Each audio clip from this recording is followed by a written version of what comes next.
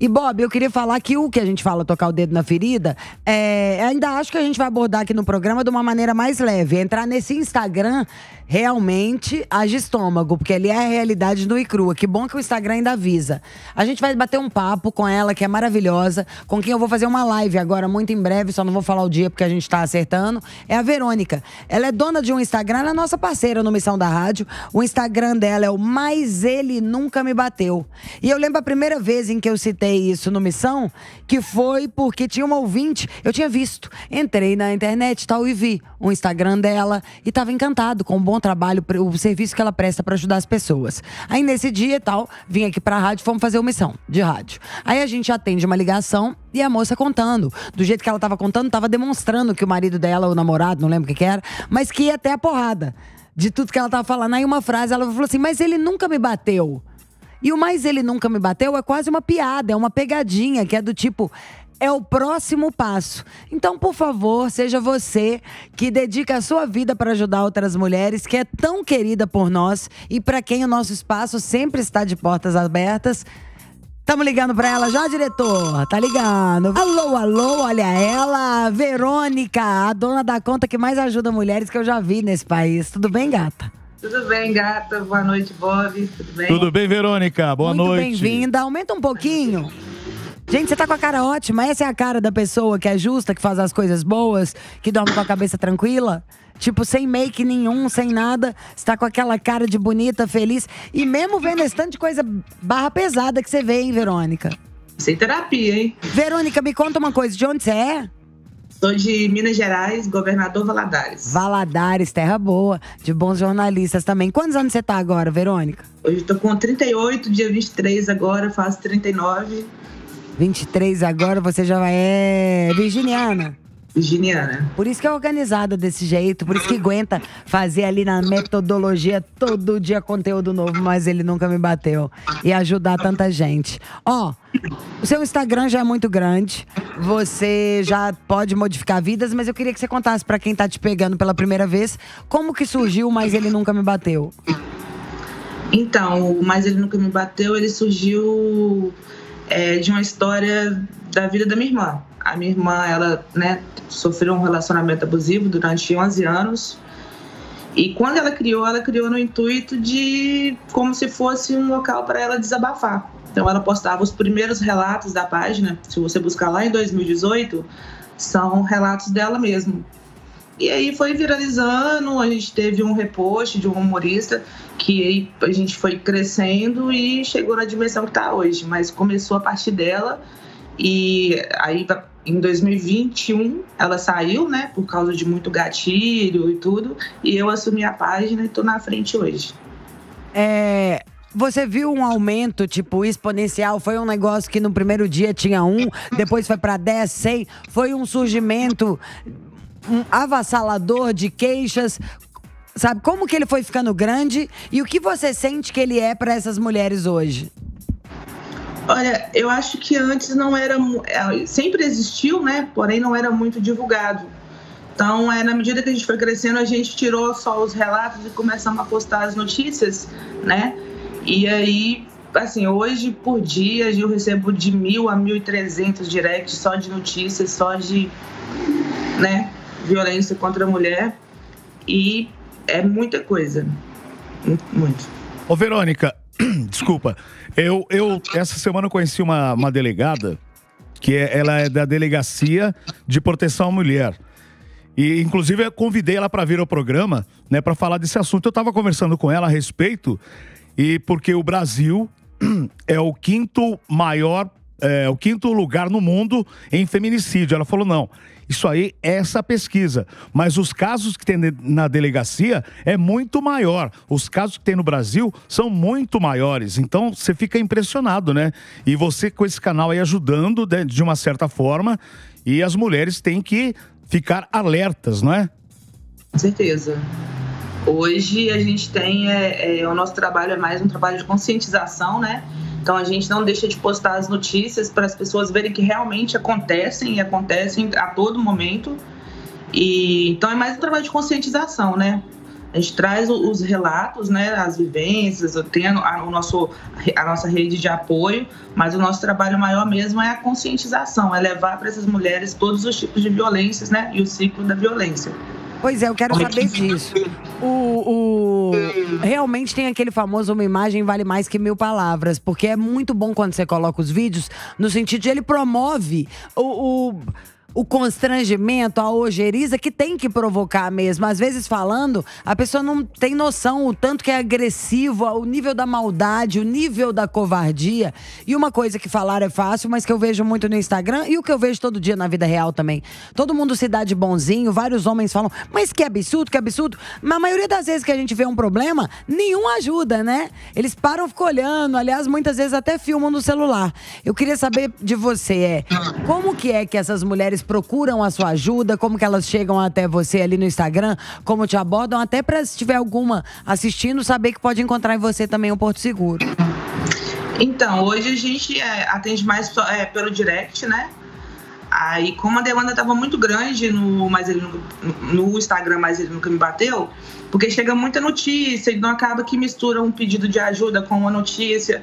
E aí a gente criou uma página secundária, que é o Relatos. O Relatos aonde fica mais fácil a gente ter acesso a só os pedidos de ajudas. E aí, então, elas podem acessar pelo Relatos Mas Ele Nunca Me Bateu, fica muito mais fácil, né? Chega menos notícia pra gente. E relatar pra gente lá pelo Instagram mesmo, pelo direct. Ou pelo, pelo lá também a gente disponibiliza o link de, é, do e-mail também, a gente pode deixar o link também aqui embaixo do vídeo, na tela, enquanto você está falando disso. E eu ve, já vi muitas vezes você contando é, que eu já fiquei com vontade de ajudar até de, de, financeiramente. Você coloca a situação: ó, essa pessoa tá assim agora, não tem mais o que comer, tá fugindo de casa, trancou as portas, tirou o homem de casa, é, temos meia hora para tirar ela dali. Como é que você lida com isso também, Verônica? Ai, é assim, para mim tá começando a ficar mais difícil, porque eu tenho feito muita chamada de vídeo com as vítimas. É, inclusive no nosso último post fixado, né, é uma história que me comoveu bastante. Eu conversando com a vítima ontem, até chorei bastante, porque ela é uma situação de abuso que ela já vive, já vivia é, desde criança, sendo abusada pelo padrasto. E aí casou, ficou oito anos casada, sofrendo abusos e a gente conseguiu, eu consegui ontem, né, ajudar ela. E aí hoje ela já me mandou, já que tá no local, já seguro, já com o bebezinho dela, já fez uma, eu fiz uma outra chamada com ela, vou até postar amanhã. A gente tem o vídeo fixado, né, ainda hoje, né, dela, da, da chamada de ontem. Então, assim, é, tem, tem que saber lidar, mas eu tô, assim, eu, até hoje eu não fui para terapia, mas eu tô começando a pensar aí já, porque realmente é, tem uns casos que tá começando a, a bater muito, sabe? Assim, são histórias que a gente. Não, você tem que fazer. Você vive para ajudar os outros. Bombardeada 24 horas por dia só com tragédia. Porque a vida também não é só isso, é porque a sua profissão é ajudar. A que você escolheu ainda. Não, se você quiser, a gente mesmo arruma pra você uns 10 terapeutas. Agora, é, isso é uma coisa que me deixou curiosa. Antes você ouvia o relato da, da dificuldade e só postava ele ali. Não que seja só, né? E postava ele ali que já modificava muitas vezes a vida inteira da pessoa. Mas agora você tá ainda mais eficazmente influindo na vida, desde arrumar dinheiro, arrumar emprego, ir lá, tira a pessoa de um lugar, põe no outro. Você já recebeu alguma ameaça? Porque esses homens são covardes, né? Já, tanto ameaça é, é, da minha integridade física, quanto processo, quando a gente expõe né, algum caso aí, ah, eu vou processar de, de, advogado, entrar em contato, ah, se não tirar, meu cliente vai processar e tudo. Mas quando já existe um boletim de ocorrência, já existe, existe outros, é, outras plataformas que já divulgou, eu não retiro, eu mantenho, continuo lá e mas é todo dia, ameaça é todo Agora, dia. Agora, ó, já tô amicíssima do, de delegado Palumba, nosso brother. Vamos puxar ele pro nosso lado e se precisar mais a gente arruma. Não sei quem é, mas a gente acha quem é a delegada Palumba, né? Que deve ter uma semelhante aí pra gente puxar. E eu lembro que uma vez que a gente participou do Missão, teve uma advogada que foi te ajudar. Já tem um grupo, assim, de mulheres? Tipo, uma advogada, uma isso, igual eu, sempre me coloquei à sua disposição a gente já tinha, a gente sempre teve desde 2018 uma rede de apoio que, que, que, conta com psicólogos, advogados que são voluntários, né? Que eles fazem um atendimento de acolhimento à vítima, por exemplo, essa vítima de ontem que está fixada no Instagram, ela já tem, já está disponibilizado para ela um apoio psicológico, um apoio jurídico, né, para ela conseguir né, é, conseguir né, renovar a vida dela, recomeçar e tudo. E a gente tem uma rede de apoio que a gente disponibiliza né, para essas vítimas, é assistente social, para né, informar, para conscientizar dos seus direitos, tem as, as advogadas, tem as psicólogas, terapeutas também. Verônica, me conta uma coisa. O que, que você acha que são as coisas mais incomuns que você vê, as características, assim, dos homens, para as mulheres ficarem mais atentas. Uma coisa que é uma virada de chave, uma gota d'água, uma dica. Porque deve ter muita gente que está calada assistindo a gente, pensando agora: nossa, isso que eu estou vivendo aqui, será que isso aqui já é violência doméstica? Será que daqui a pouquinho esse cara vai fazer alguma coisa? É, no senso comum com tanto caso chegando todo dia, o que, que você ah, já sacou? Seria como um Esses perfil, são, né? É, que são um os perfil. traços de um cara que é desse jeito. É. É, assim, tirando por base, com, se a gente pegar a maioria dos relatos ou das denúncias que a gente recebe, é sempre o começo. É, eles começam a te colocar numa gaiola, né? Tira, tira seus amigos, tira sua família, eles vão tirando a sua rede de apoio, né? Então, quando começa a tirar essa rede de apoio, você fala, por quê? A minha família não faz nada de ruim para mim. Meus amigos não fazem nada de ruim. Então é sempre é esse o início, é você ver que está tirando toda a sua rede de apoio. Quando você está sem rede de apoio nenhum, aí já começa os outros tipos de violência, violência psicológica e por aí vai. Então, assim, uma coisa que é muito comum, a primeira coisa é tirar a sua rede de apoio, é quem está ali para te ajudar. Seria, por exemplo, a possessão do parceiro. Mais ou menos isso. Mais ou menos isso. Ele vai tirando. É, ele quer, é eu e você. É, ele quer as pessoas É, fora. ó, a e- gente nunca pode deixar de ter amigo e de ganhar dinheiro. Você acha que são as duas melhores não. coisas, não é, Verônica? Exatamente. É tipo eu e você. A partir de agora, a minha vida é eu e você, você e eu. Sacou? Eu É. e você, você, Você e eu. Só que não é, não é nessa alegria, não. rola, não. Não é rola. alegria. Porque os caras não são igual a gente, não, tá? Não. Pode ter uma em um milhão de uma mulher que também não faça grande coisa ali, que não seja agregadora na vida do cara, mas o cara usa contra. Entendeu? É. A mulher realmente, você dá pra ela uma casinha, ela faz um lar. Você dá pra ela um biscoito, ela faz um banquete. Você dá pra ela uma flor, ela faz criar um jardim. O cara não. É, é triste falar isso pros homens, mas é verdade. Aliás, não é nem minha opinião, não. É estatística. Agora, Verônica, é, tem um número, o 180 de telefone, que seria um número para as mulheres é, recorrerem numa hora de medo, de ameaça, de violência contra a mulher. Você tem outros, outras fontes de socorro que você gostaria de contar para nossa audiência? Tem a, tem a rede Maria, Maria da Penha Online, né? O aplicativo Maria da Penha Online, mas eu não sei se ele abrange o Brasil todo já. Eu sei que no Rio de Janeiro, boa parte de São Paulo ele já está disponibilizado. É 190 e 180 mesmo. Você sente que mudou alguma coisa? Que melhorou? Ai, sinceramente, Lígia, eu acho que tá cada vez Piorando. mais. Eu acho que a lei Maria da Penha é uma lei muito boa, porém é, não funciona. Igual quase todas no Brasil, né? Igual semana passada soltou o cara que matou o pai e a mãe. Aí tem Nossa. pena boa por causa de é, bom comportamento. Que bom comportamento? O cara tá preso por causa do negócio. Deixa o cara ficar preso 30 anos. Aqui não tem nem prisão perpétua. Os caras batem em mulher, a mulher vai lá, conta o negócio da delegacia. Ai, tô morrendo de medo do cara. E não dá em nada. Nunca dá em nada. Pra gente dá medo. Mas chega. Chega de, de, de ignorância. Parece que o cara não sabe controlar o próprio emocional e não tem o intelectual pra acompanhar ou pra argumentar, que é partir pra porrada. Pra ver se cala a boca ou pra ameaça, sei lá. É, tá piorando e quando a gente pensa na lei do Brasil, o mundo também tá meio, né?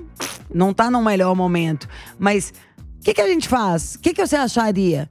O que, que você acha que falta mesmo na lei? Tô falando de verdade, porque a gente é pequenininho, mas se junta a gente é grande. Sabe? É, a gente pode que- mudar uma lei. É, aí que tá. Eu acho que, querendo ou não, é, quando, é, por exemplo, agora a gente está no momento de política, né? Então tem muita gente falando, eu faço, eu vou fazer pelas mulheres, eu vou fazer, eu vou fazer, mas nunca fazem. É sempre os mesmos discursos, mas nada muda. Então eu acho que deveria realmente é, começar a ter mulheres por mulheres. Entendeu? Mulheres começarem a apoiar mulheres na, na política, é, dar espaço para as mulheres na política, para modificar, para colocar, estreitar essas leis, né? Porque a lei é boa, Se você pegar a, a Maria da Penha, é, se, é se cumprida. você for olhar- comparar com outros países, é maravilhosa. Mas se fosse cumprido tudo que tem ali. Mas acontece muita coisa, a revitimização da, da vítima. Às vezes o agressor ele sai da delegacia antes da vítima.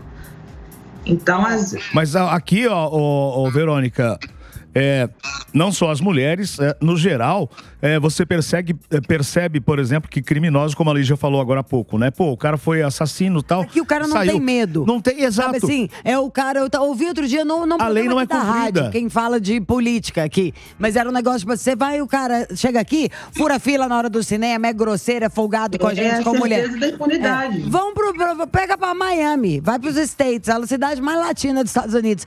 Pousa lá.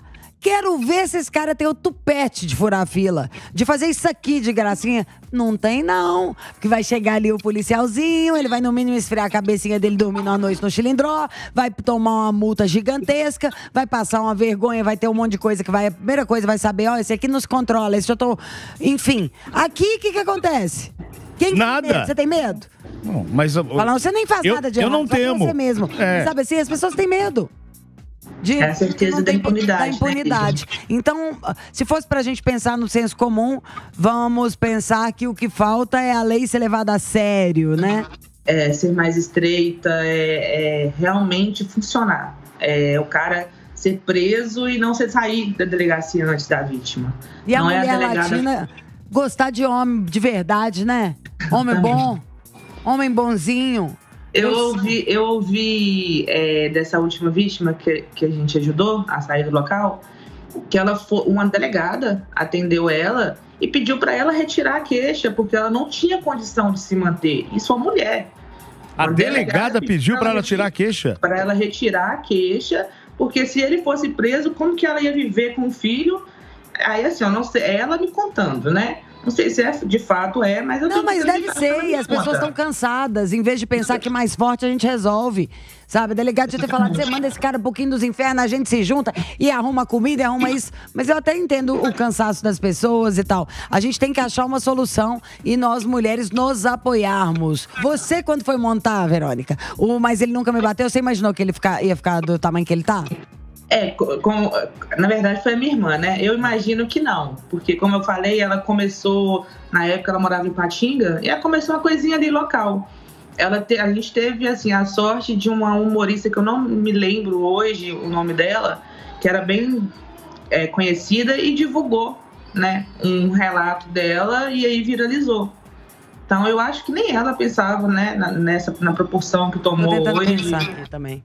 Como que eu te achei? Ó, eu quero deixar aqui só pelo tempo do Missão do YouTube, porque vale a pena a gente fazer uma roda nossa mesmo. Isso aqui é podcast pra gente ficar três horas falando, é um assunto muito profundo. Não dá, né? É até quase uma bobagem pegar ele superficial. Mas o seu lugar é o Missão, já não é sua primeira vez aqui. A gente quer te agradecer. Sabe assim, que Deus abençoe a sua vida, viu, Verônica? Que você tenha saúde, muito dinheiro e só alegria e vida muito longa, porque você põe a massa, você é gente que faz.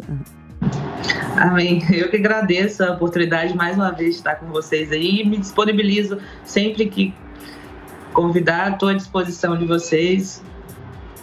Temos nossa live, hein? Semana que vem. A gente faz ah, não. E outra coisa, eu tô com 127 restrições no Instagram, não tô podendo abrir live por conta dos conteúdos. E aí eu vou tentar abrir pelo relatos. Se der Vamos. certo. tá. Qualquer coisa a gente faz alguma graça, tenta alguma coisa, mas é bom saber disso, porque aí a gente faz campanha e fala: Instagram, protejam as mulheres e cria a hashtag certa. Como assim? Que absurdo isso, né? É, Nossa. boicotar porque tá. Mas às vezes é o algoritmo. Não vamos É. falar. O É. Instagram não é um cara de barba que tá com a perna sentada falando, não bota isso aí. Sabe, sei lá, a gente vai e corrige em vez de se lamentar, entendeu? É isso. Não é não, Verônica? Com certeza.